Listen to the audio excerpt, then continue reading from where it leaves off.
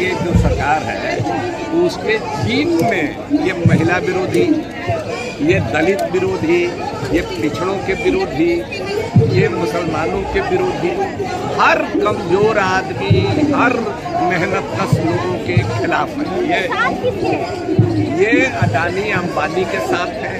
ये गुंडे मवालियों के साथ हैं और उन्हीं के बल पर, उनके पैसे के बल पर, इस तरह के लोगों के गुंडागर्दी के बल पर ये चुनाव जीतते हैं और राज करते हैं।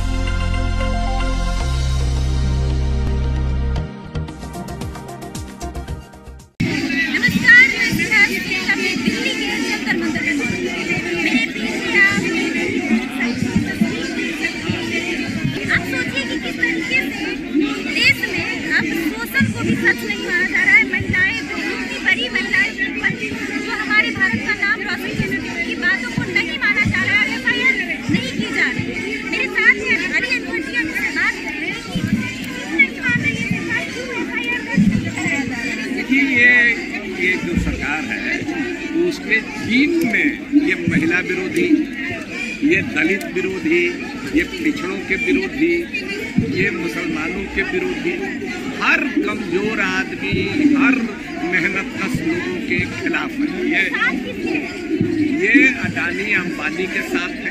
ये गुंडे मवालियों के साथ है और उन्हीं के बल पर, उनके पैसे के बल पर, इस तरह के लोगों के गुंडागर्दी के बल पर ये चुनाव जीतते हैं और राज करते हैं।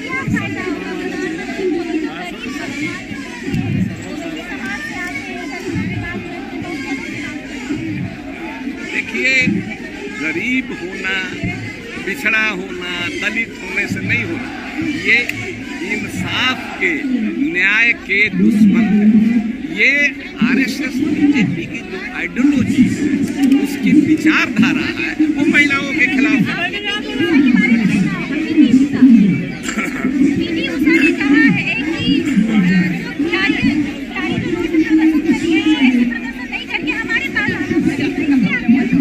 देखिए, बड़ी तकलीफ़ हुआ।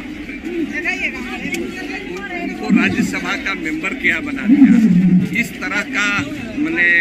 बयान नहीं देना चाहिए। बहुत शर्मिंदा नहीं नहीं बिल्कुल गलत कर रही है। उन्होंने महिला होने के नाते कम से कम इस तरह से उनको देखिए मैं भी बारह साल में मुखी था और नीतीश कुमार जब भी रातों रात बीजेपी के साथ चले गए तो मैंने उस कुर्सी को ठोकर मार दिया बगावत कर दिया निकल गए। तो आइए देखिए अभी ए, ए, ए, एक भी राज्यसभा का क्या बना दिया?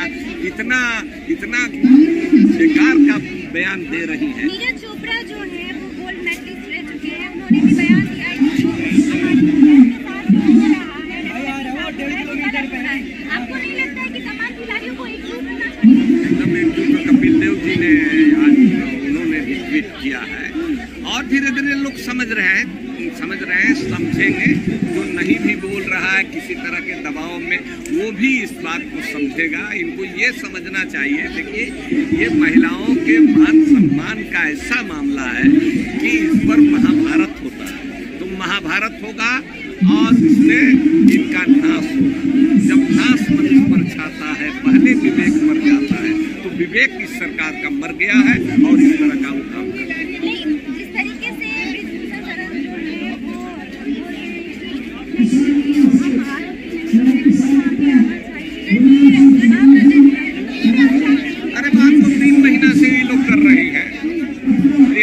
धरना पर भी बैठ चुकी है।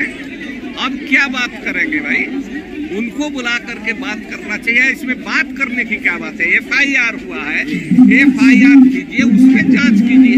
उनसे बुला करके पूछिए। तो ये अडानी से बुला करके पूछते हैं, इतना बड़ा घपला हुआ। किसी भी ये पहले भी इनके मंत्री, इनके विधायक, इनके एमएलए, सब लोग इस तरह के कर्म कर्म किए हैं। किसी के खिलाफ नहीं कर रहे इनका इनका ट्रैक रिकॉर्ड इसी तरह का।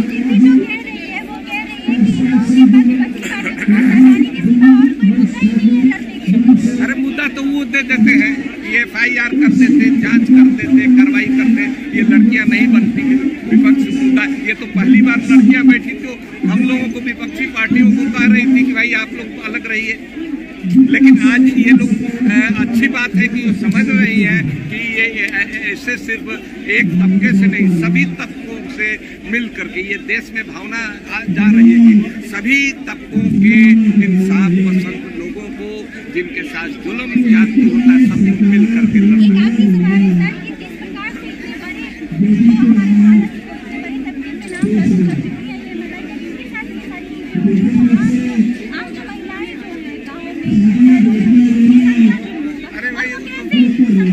डर करके इस तरह के जो मामले हैं देखिए कि बेटियों के साथ जो होता है वो डर करके लोग लाज बस तो बोलती नहीं है।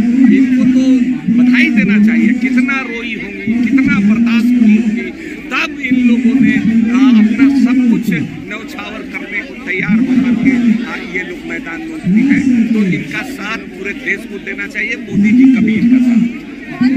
नहीं। बहुत बहुत इन महिलाओं के साथ जब ऐसा हो सकता है तो आप सोचिए जो आम महिलाएँ होंगी जूझना पड़ता होगा। ये बहुत अपने आप बहुत बड़ा सवाल है, जहाँ एक तरफ़ भारत देश बेटी बचाओ बेटी पढ़ाओ बीजेपी के नेता, कार्यकर्ता हमेशा ये नारा लगाते हैं उसकी तरफ़ बेटियों की तस्वीर